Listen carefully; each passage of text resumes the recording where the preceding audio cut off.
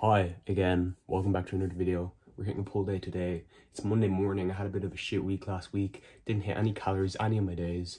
I skipped the gym for most days and I was overall just feeling very unmotivated. To top it all off, I had a sore throat and a sore chest.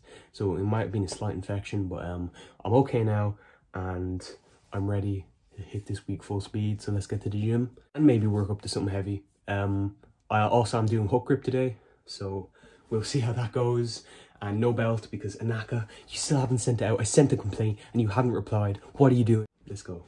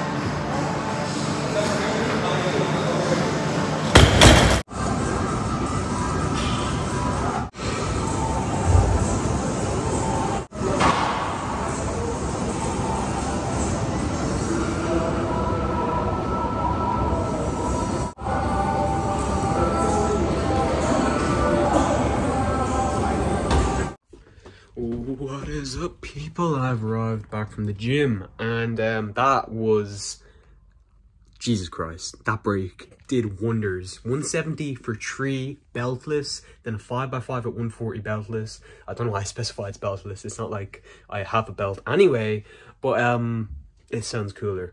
Um, but yeah, that is actually, a, I think it's pure for my rep pure for 170, and I didn't even have my belt. That means I probably have like four or five reps, six reps in time in a, in a few weeks with belt, which is just crazy to me. And I'm very happy with that. And then the 140, they were tough sets, but I got them done. And oh yeah, about hook grip. Hook grip, I'm not, that's off the list now. Uh, call, call me a pussy if you want, but basically it rubs off my callus too much. And just from 60, it was hurting my callus. It ripped from the hook, and I thought maybe if I get used to it, but no, maybe it's the way I'm gripping it. Maybe, maybe I'm just doing it wrong. So if I am, feel free to comment any hook grip, hook grip experts in the comments because I know a lot of you guys, YouTube comment coaches. But um, yeah, for now, mixed grip feels amazing. Um, can't wait to see what I'm hitting with a belt when it comes. Nakas and my damn belt.